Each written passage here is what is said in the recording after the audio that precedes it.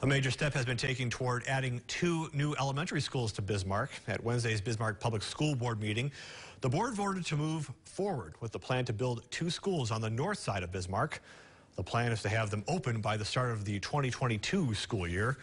The school district says the construction of the schools will not require a tax increase. Instead, existing funds will be used. Superintendent Jason Hornbacher says right now BPS has 26 portable classrooms in use. That number will be reduced to about nine once the two new schools are open. Well, today is a big day